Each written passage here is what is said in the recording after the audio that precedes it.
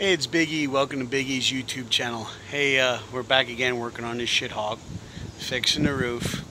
Uh, I did it wrong, and I'm going to show you what I learned and what we're going to try. So here's the roof. Ground off all the the body work that I had done previously. So we're down to the actual plastic fiberglass roof. Now you see here, it's all wet.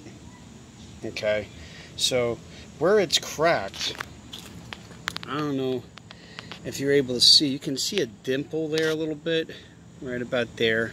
So what I did was I took uh, the edge of a grinding wheel and I actually went down the whole thing here and I gouged it out, okay? But then I also, at the end of the crack, I drilled a hole here, at the end of the crack here, and there. You can't see those as well because those cracks aren't as bad, but I did gouge them out. So then what I did was is I mixed up some resin, and as you can see is the clear stuff. So it's a two-part resin. It's a it's a regular fiberglass resin with a hardener. So you mix it up like you would normal Bondo.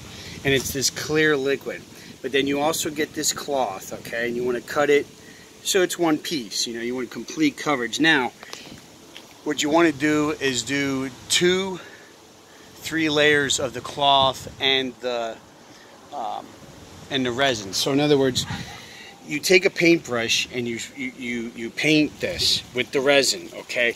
Then you lay in your first piece of cloth. And then you take your brush with the resin and you dab it to get all the air bubbles out and put on more resin. And once you do that, you lay the next layer of cloth. Same thing, you dab it with the paintbrush and you to get all the air bubbles out. Okay, so I only did two here.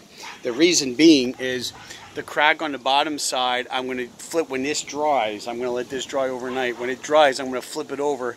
I'm going to go, I'm going to do the same thing to the bottom side. I'm going to do one or two, so actually be four layers of cloth and, and resin. So we're going to let this dry up, and then tomorrow I'm going to go back on this and start sanding it and doing the body work.